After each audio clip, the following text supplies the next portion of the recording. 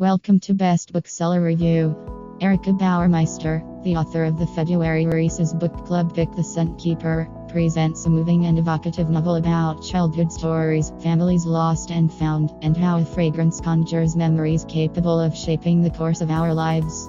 Emmeline lives on a remote island with her father, who teaches her about the natural world through her senses.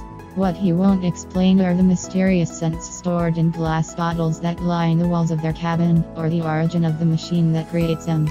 As Emmeline grows, however, so too does her curiosity, until one day the unforeseen happens, and Emmeline is vaulted out into the real world, a place of love, betrayal, ambition, and revenge.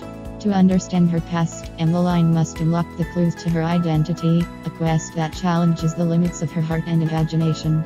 Captivating and emotional, The Scent Keeper explores the provocative beauty of scent, the way it can reveal hidden truths, lead us to the person we seek, and even help us find our way back home. If you like this video subscribe and press the bell icon.